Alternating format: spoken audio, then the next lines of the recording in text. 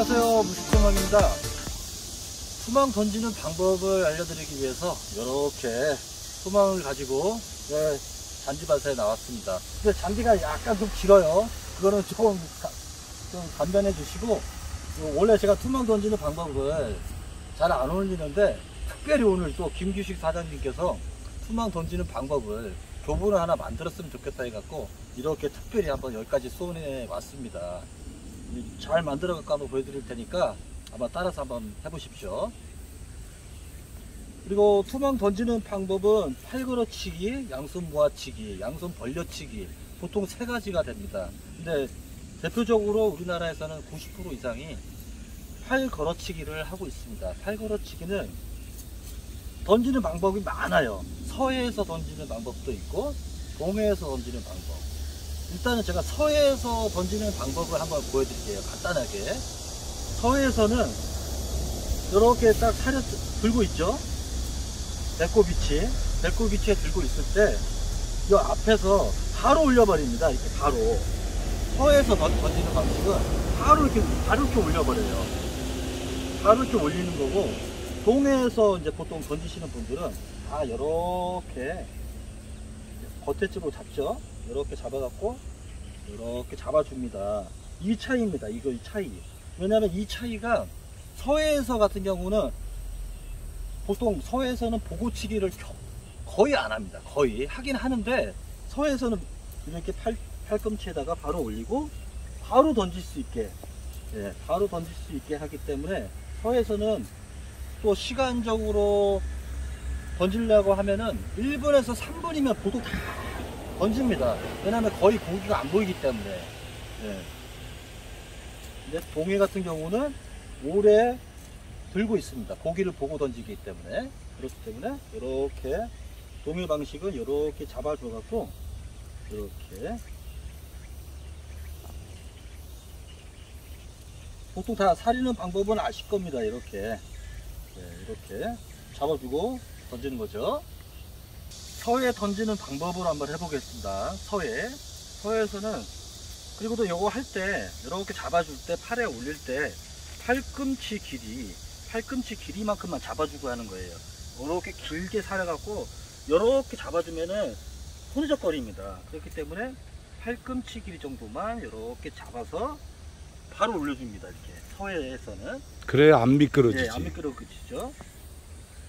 그리고 또 이게 그물이 좋다 보니까 뭐 살일 필요가 없네요. 원래는 차곡차곡 살해야 되거든요. 보통 이렇게 이렇게 하나씩 하나씩 살해야 되는데 그물이 좋다 보니까 네, 살일 필요가 없어요. 그리고 또 던질 때 이쪽으로 한번 이쪽에서 한번 찍어 주실래요, 여기? 던질 때 던질 때가 중요합니다. 이게 던질 때가 예를 들어서 정면으로 던질 거예요. 근데 이 그물을 던질 때가 아주 중요해요. 그물을 추가 이렇게 날아가냐, 추가 여 앞으로 날아가냐, 그 차이입니다. 그 차이. 그물이 펴지고 안 펴지고 차이는 이거는 아무 데서도 알려주지 않는 방법이에요. 보통 사람들이 어떨 때 그물을 던지면은 잘 펴지고, 어쩔 때 던지면 안 펴지고, 어쩔 때 던지면 또 찌그러지고, 그게 어쩌, 사람들이 세게 던지려고 하면 힘이 들어갑니다. 힘이 들어가. 힘이 들어가갖고 그물이 펴질 수가 없어요. 그래서 이것만 정확히 이거 한 가지만 알고 있으면 됩니다. 이 추가 제 배꼽 앞으로 일자로 있죠. 이렇게 일자로 지나가듯이 지나가면은 무조건 다 펴지게 돼 있습니다. 그리고 왼손 오른손 높이가 동일해야 돼요. 이렇게 일자로 동일해야 됩니다. 예를 들어 갖고 이렇게 던지려고 하면은 세게 던지려고 하면 손이 이렇게 올라가 버립니다. 이렇게 오른손이 올라가 버리면 그물이 찌그러지게 돼 있어요.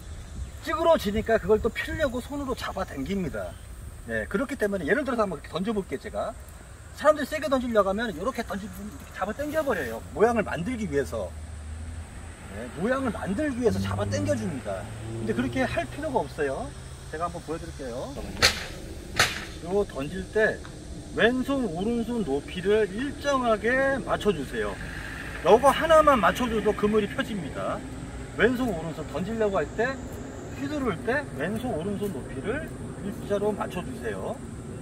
일자만 맞춰주고, 이제 이 상태로만 던져주면 다 펴지게 되어 있습니다. 이제 이 상태로만 던져주면 다 펴지게 돼 있습니다. 왼손 오른손 높이를 일자로 맞춰줘 갖고 던지시면 됩니다.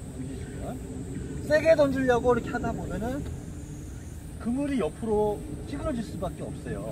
이게 이번에 공구 투망인가? 예, 이게 공구 투망이에요. 야 그물 너무 좋다 이거. 네. 일부러 이거 갖고 온 겁니다. 공구 투망. 아니 육족이라는 말만 빼면은 진짜 끝내주는 그물이네. 네.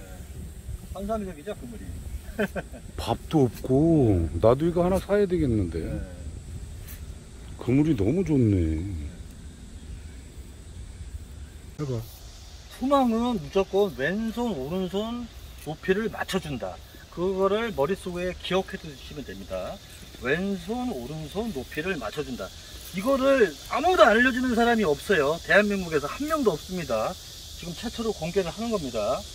그물이 1대 6대 4 앞에가 60% 뒤에가 40%뭐 50대 50, 뭐 7대 3, 뭐 이렇게 던져줘도 상관은 없어요.